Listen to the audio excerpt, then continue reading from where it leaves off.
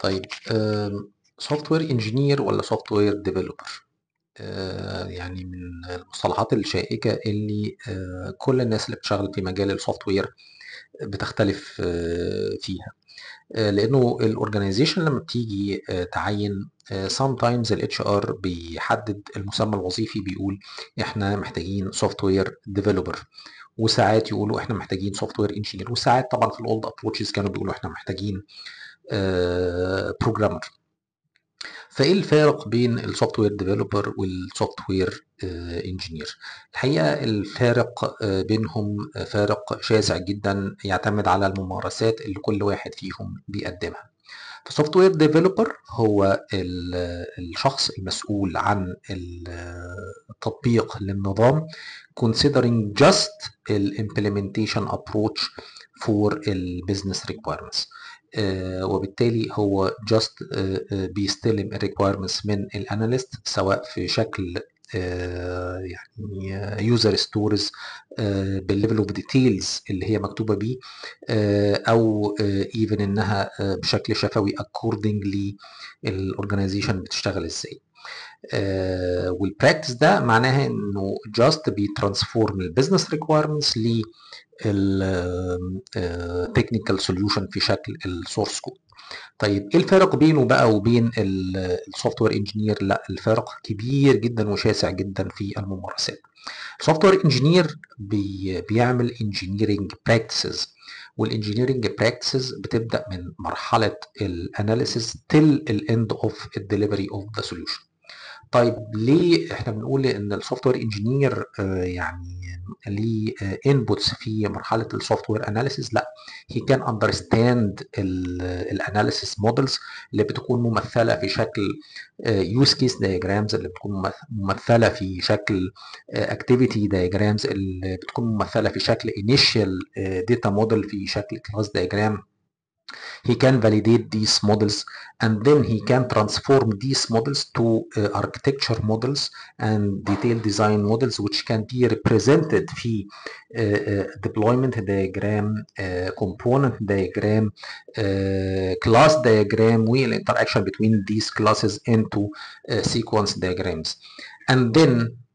لما بيجي ترانسفورم السورس كود بيشوف which design patterns are correlated to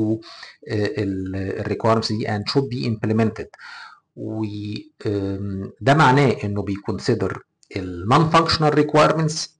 as ال functional requirements because ال non functional requirements هي السبب الرئيس في فشل البرمجيات وليس وليس ال functional requirements بعد كده بيهتم بجودة الكود البرمجي اللي هو بيخرجه. وده بيمثل يعني جزء كبير جدا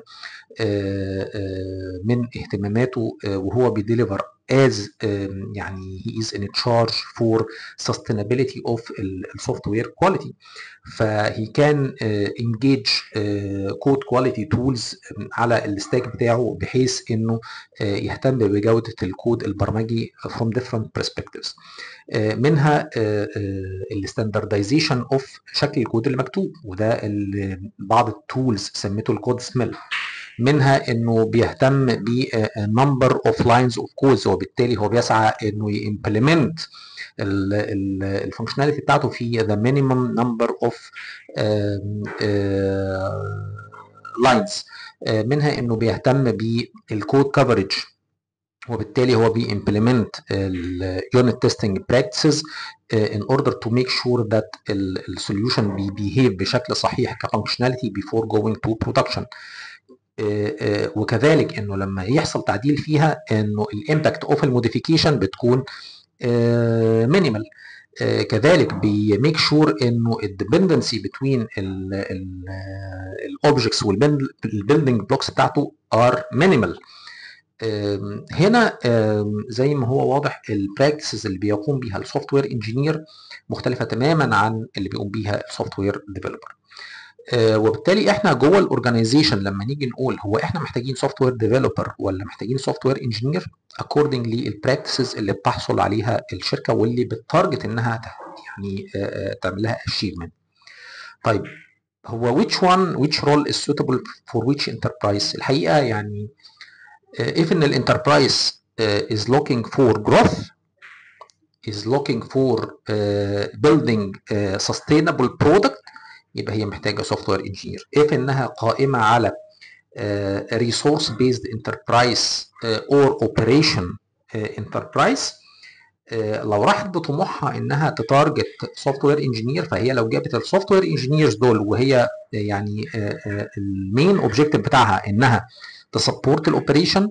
فده هيؤدي إلى failure as انه هيحصل turnover لأنه ال software engineers by this mentality they are looking for growth which will not be available uh, within such um, uh, enterprises فانت لو بتعمل ال practices اللي إحنا قلنا عليها uh, uh, starting from understanding ال analysis models building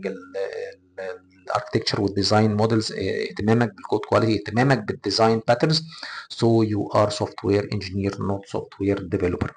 وسعيك إن أنت آه تقلل آه ال overheads اللي عليك بحيث إن أنت تقول دي مش شغلتي معناها إن أنت بتقلل من آه إمكانياتك وبتقلل من ال skills اللي المفروض إن أنت تكون عليها. وبالتالي don't approach or don't target إن أنت يكون عندك the salary of software. engineer أتمنى تكون ال ال الإجابة واضحة على السؤال وال differentiation واضح. لو في أي يعني استفسارات يا ريت يتم إرسالها directly شكرا وبالتوفيق والنجاح.